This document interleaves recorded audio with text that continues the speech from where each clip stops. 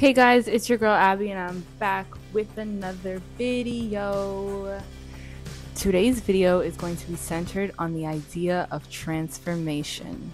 I'll be reflecting on my own experiences and how I was able to transform my life and work through my traumas or flaws. Disclaimer before we get into this video, I want to acknowledge that there are people struggling with life traumas on a clinical level. I often use the word trauma as an umbrella term to summarize the things that I've gone through or things that I'm currently going through. And so that should not be misunderstood, but for the purpose of this video, I may be using the word trauma, but note that I'm using it very lightly. Also, want to acknowledge that health is wealth, but also sometimes our health can be used for wealth. And so anyone watching this video, I want you guys to take it with a grain of salt and understand that this is me just expressing my experiences and the things that I've learned across my journey. So it's not a guide to health, it's not a guide to wellness. Wellness is a personal journey. I hope that this inspires you to go inwards and connect with God on a deeper level.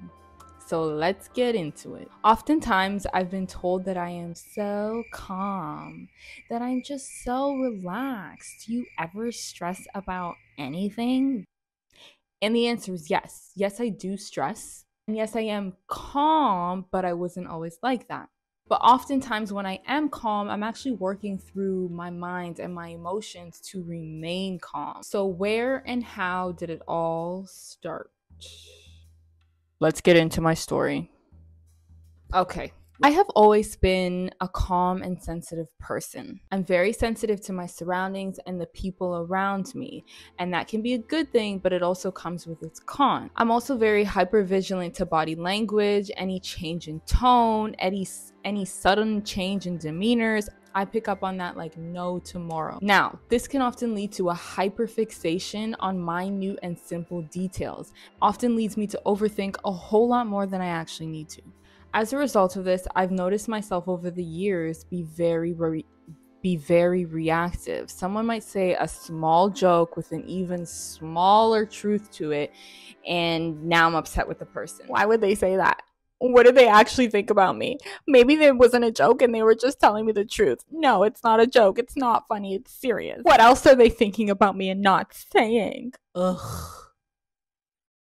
Whole demeanor towards them changes. Or I fight back with my words, and I do not, I do not recommend fighting back with your words. There have been many times where I've completely lost my temper with my friends and family and ended up saying things that I never actually meant also, the emotional uproar that takes place within my body is not pleasant.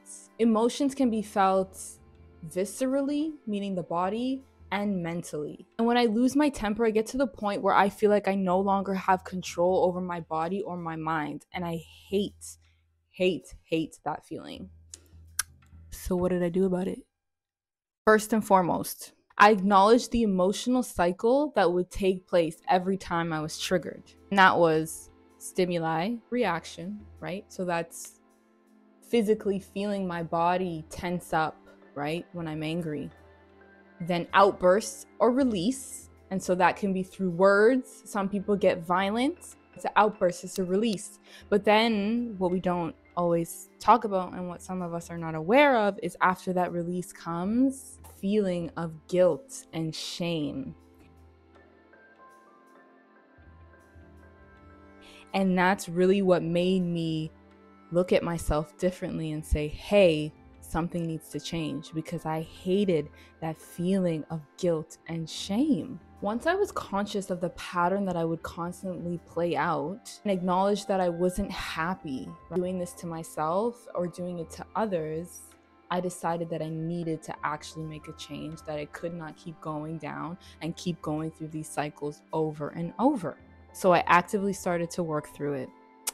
Also, important to note that guilt and shame that I would feel after yelling or cursing someone out because I was triggered and upset was a clear indicator to me that what I was doing was unhealthy.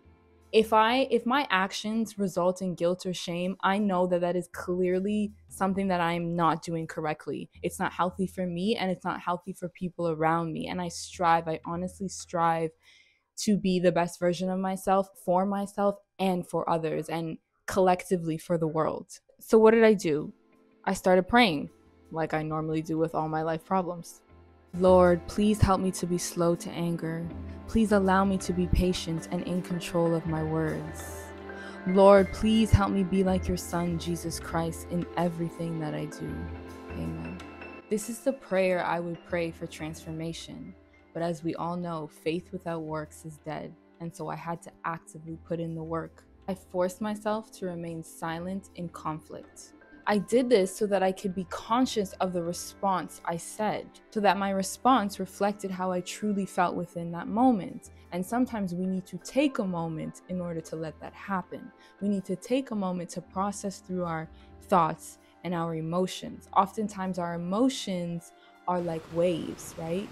But what happens is the wave comes and it's a big uproar, but it passes. And we have to allow our emotions to have that same pattern. Let the emotions rise and let them fall. But the issue comes when the emotions are rising and we have that outburst. So, acknowledging that, I said, okay, I'm going to allow my emotions to do what they normally do, right? I can't control the emotions that are coming up, but I can control how I respond to them. So, allow the emotions to come up, allow them to come back down. And when they come back down, I can understand how I was feeling and properly articulate myself. This requires discipline, our favorite D word discipline. Every time I felt anger stir up, I forced myself to take deep breaths.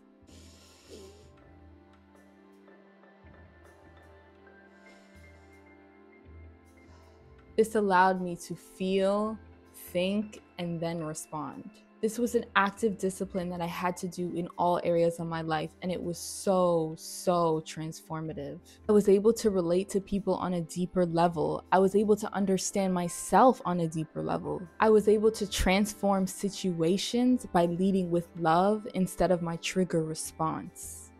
I learned that anger is a response. It's a response to trauma and trigger that we might not be ready to take a look at.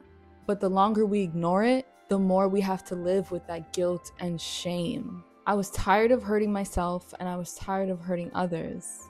I was tired of hurting myself because in return, I'm also hurting others. The human race is so connected and we're all reflections of each other. And so when I do something that is hurtful for me, that spills out and it hurts other people. We're all connected in that weird way of like if I treat myself with love and kindness, the people around me will be treated with that same love and kindness because that's what comes out of me. That's what I exude, right? We're all interconnected. The human race, everything on this planet, on the planet Earth, is interconnected. But, anyways, that is how I transformed my life into this seemingly calm, nonchalant, old soul esque being that I am today. Thank you guys for watching this video. Next time, we'll get into the difference between transformation and management. Anyways, like, comment, and subscribe. Let me know what you think. Connect with me on the gram at ABIGXRL. And I'll see you guys next time. Love you.